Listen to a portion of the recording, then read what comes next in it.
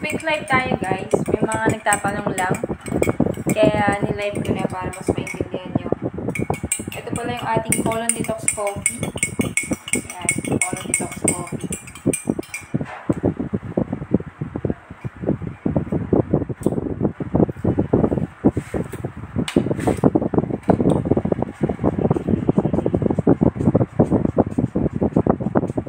Health Forum. Guys, ginagawa ko to before, 10 years ago na talaga. Sa, so, nagre-rent pa ako ng mga mga lugar, mga events, no, para mag-isagawa to nung wala pang pandemic. So, ngayon, nakakabahala po kasi dahil lumalaganap talaga yung iba't ibang uri ng karamdaman. No? Lalo na po ngayon, marami pong inaatake sa puso, tapos si Doc Willie Ong may cancer. Tama po ba? Doktor na po yun ha, nagka-cancer pa. So, ibig sabihin, kung ikaw, ordinaryong tao ka, nagka-cancer ka, talagang nakaka-stress po yan. Kasi yung mga taong maraming pera, nai-stress pa po sila. So, ang pinaka-pag-uusapan natin dito, paano natin maiiwasan yan, di ba? Unang-una, mag-uumpisa po yan sa ating colon. Pag marumi ang colon mo, hindi ka araw-araw dumudumi. Ikaw ba araw-araw dumudumi? I-comment mo nga dyan. Kung hindi ka araw-araw dumudumi, nagkakaroon ng peca rubber sa paligid ng colon. Yan yung mga tumitigas. Kapag hindi ka araw-araw dumudumi, delikado po yan. Pag pwede ka po magkaroon ng tinatawag na colon cancer. Kasi kumakalat yung mga bacteria po dyan. At alam nyo ba, kapag hindi ka nakakadumi, sumasama yung iyong pakiramdam, di ba? Pag constipated ka, sumasama yung pakiramdam mo. Feeling mo, sumasakit yung ulo mo. Basta iba yung pakiramdam. Pero pag tumumi ka, gumiginhawa yung pakiramdam mo. So ngayon, guys, sabi po sa science, eh, 80% dapat ng kinakain natin alkaline. 80% po dapat ng kinakain natin alkaline, 20% lang yung acidic. Kaso sa panahon natin ngayon, baligtad na. 80% acidic, 20% alkaline. Ano ba yung acidic? Lahat ng pagkain niluto sa apoy, acidic po yan. Lahat po ng pagkain niluto sa apoy, acidic po yan. So, kapag po kinakain ano po? Kadalasan, mga instant, tosino, longganisa, hotdog, diba? So, kumakain ka po ng mga preservative na pagkain, mahilig ka sa fast food, ang pagkain po natin ngayon, puro mabilisan, instant, di ba? Dilata, instant noodles, okay? Ano pa? Fast food chain, instant yon, di ba? Kasi busy ang mga tao, kaya wala ng oras magluto ng healthy food. So, ngayon, kahit po kumain ka ng gulay, pero niluto mo sa apoy, acidic pa rin po yan. Ano yung alkaline? Yung fruits and vegetable na hindi niluluto sa apoy. Pero sa panahon natin ngayon, yung fruits and vegetable, may mga pesticide, may mga chemical na rin. Kaya hindi na rin safe. Konti na lang yung makukuha mong enzyme. Konti na lang yung makukuha mong vitamins and minerals. Tama po ba? Kaya, hindi na na-absorb ng katawan mo. Kinukulang na ng nutrients yung katawan mo, nanghihina. Lalo na, kapag prone ka pa sa acidic, pwede kang magkaroon ng dumami yung cancer cells mo. Meron kasi tinatawag na bad cells and good cells. So, pag pinapakain mo yung katawan mo ng acidic, dadami yung bad cells mo. Pag pinapakain mo yung katawan mo ng nutrients na yung nakukuha no, sa organic na pagkain, dumadami yung good cells mo. At kapag ikaw ang may bukol ka na sa katawan, delikado po yan. Kasi mabilis na mag-multiply po ang cancer. So, kailangan mo nang iwasan yung walong malalansang pagkain. Dahil kapag kinakain mo pa rin to, kapag kinakain mo pa rin po yan, lalong dadami ang bukol sa katawan mo. So, pinapakain mo sila, kaya sila dumadami. So, kailangan natin i-deprive sila. Alisin mo lahat ng walong mananansang pagkain. Ano po yan? Patis. Egg. Manok. Hipon. Al alamang. Alimango. Alimasag. Ito po yung kailangan mong alisin para hindi mamuhay yung mga bukol mo sa katawan kasi ito ay pagkain po ng bukol at mga bad cells. So, pag pinapakain mo sila, dumadami sila. Pag dumadami sila, dun po dumadami yung mga cancer cells.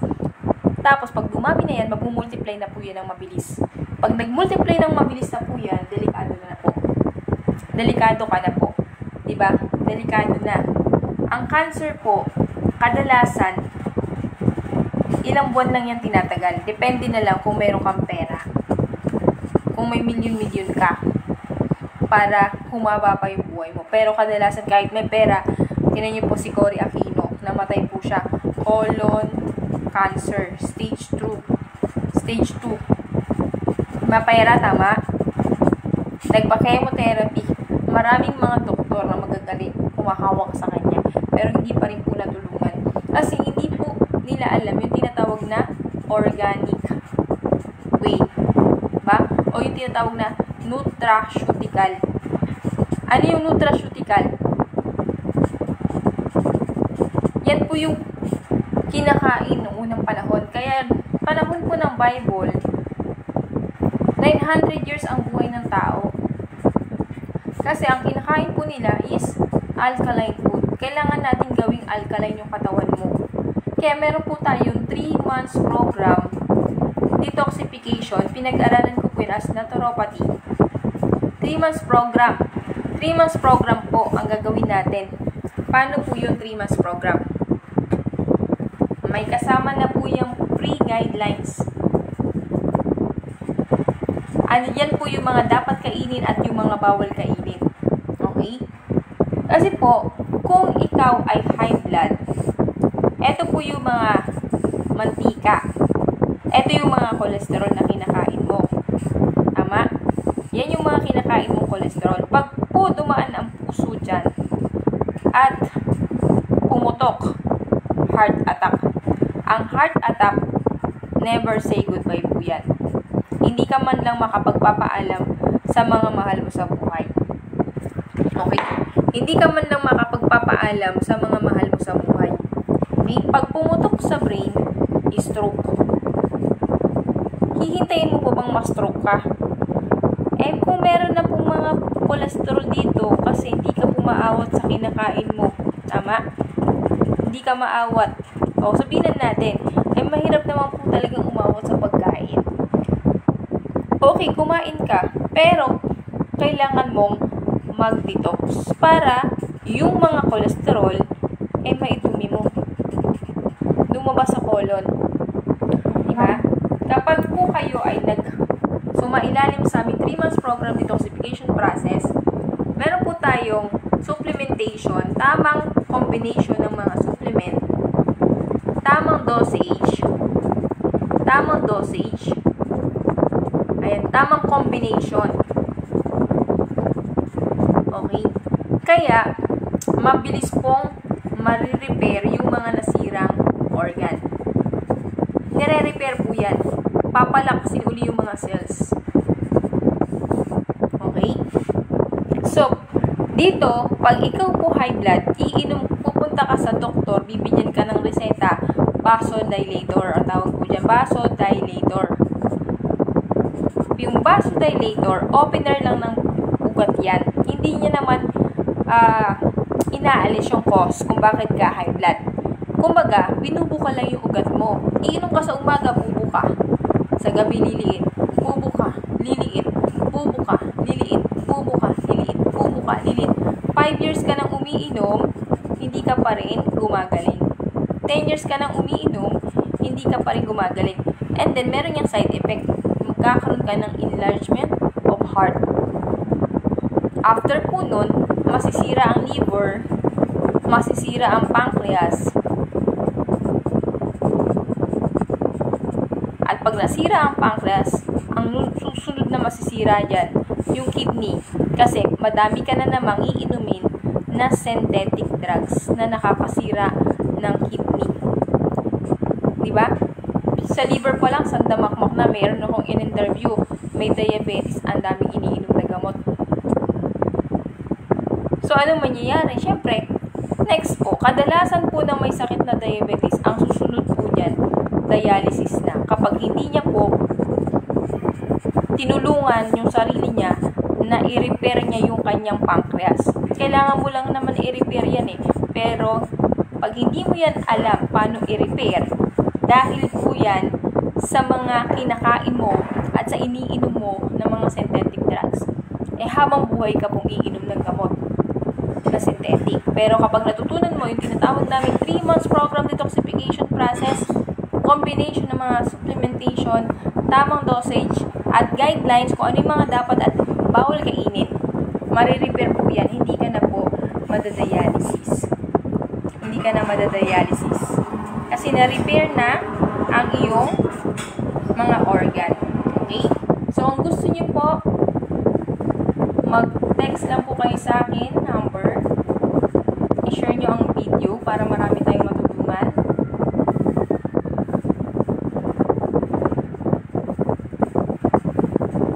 I-share mo po ang ating video. Ayan, para marami tayong matulungan na may karamdaman. Ang 3 months program po natin, nagre-range lang po yan ng 35,000. Pero meron po tayo, for example, hindi mo kaya 30 days po.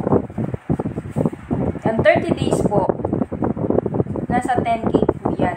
Pag 2 weeks naman, 4k po yan. Depende po kasi yan sa status mo kung ano yung sakit. Combination po yan na may meron ka ng pancreas, sira na yung pancreas mo, sira na yung kidney mo, sira yung pag kidney ang nasira, delikado na po yan. Pag dialysis, hindi na po pwede mag-detox. Okay, kasi acute na yan eh. Hindi na po yan tinatanggap ng ganitong type of healing. Kasi kung bago masira ang iyong kidney, dapat makapag-detox ka muna. Pero pag nagda-dialysis ka na, dialysis ka na hindi na po namin yan tinatanggap. Kasi acute na po yan, machine na po talaga ang mag lilinis ng iyong dugo kasi nasira na nga ang iyong kidney. Dahil pinabayaan mo siyang masira kakainom ng mga synthetic drugs. Ayan. So i-share niyo po yung ating live. Alam niyo po ang dialysis nagre-range po yan ng 15k a week. Pag wala kang 15k a week hindi ka naaabutin no pag nagda-dialysis ka na tumatagal lang po ang pasyente ng 7 7 years. Pero, pero dapat meron siyang 15k a week. Kasi may po nag-inquire sa akin, nagda-dialysis na. Sabi ko, ay hindi na po pwede mag-detox pag nagda-dialysis na. Kasi machine na po talaga ang nagpapa, naglilinis ng dugo na yan. Okay? Tapos tinanong ko magkano yung weekly dialysis na. Hmm, 15k daw ang weekly dialysis. So, kailangan niya ng 60k uh, a month. Kaya gusto niya sana sumailalim sa ating 3 uh, months program, detoxification. Sabi ko kung hindi pa sana nagda-dialysis, pwede pa po yan. Kaso nagda-dialysis na. So, hindi na po pwede yun. Kasi pag dialysis po, konting tubig na lang ang iniinom. So, wag mong hintayin ma-dialysis ka. Kasi kailangan mo ng ganitong kalaking pera. Sabihin mo sa akin, ang mahal ng 3 months program. 3 months program yan kasi sinira mo yung organ mo. Lahat ng mga, lahat ng, meron ka ng uh, mataas na, na blood sugar, may mataas na cholesterol. So, siyempre, lahat yan, i-repair ng cells, i-repair natin yung mga cells mo at organ mo. Mamura na nga po yan kasi pag nagpa-opera ka, 200k po. Sa bukol pa lang yan. Tapos, babalik pa yan after ilang buwan. Diba? Eto, detox na yan eh. I-detox yung katawan mo. Tama? Manghinayang ka kung yung cancer luma, lumaganap na. Nasira na yung mga organ mo. Kaya huwag ka manghinayang sa pera mo kasi habang buhay ka, habang malakas ka, kaya mo magtrabaho, kaya mong kitain yan. Pero pag nagkasakit ka na, sino magsusustain sa'yo? Pamilya mo? Eh, paano kung wala rin silang pera? eh, kawawa ka. Kaya dapat ngayon pa lang, huwag mong panghinayangan mag-invest sa iyong kalusugan. nag invest ka nga sa gadget eh. Nag invest ka ng mahal na cellphone, 35k. nag invest ka ng kung ano-ano, di ba? Invest mo muna sarili mo sa kalusugan muna. Kasi importante ang health dahil pag yan nawala, hindi ka na makakapagtrabaho. Di ba? Sabi nga nila, health is wealth. Okay? So, thank you and God bless. Share niyo po yung live natin para makatulong sa iba.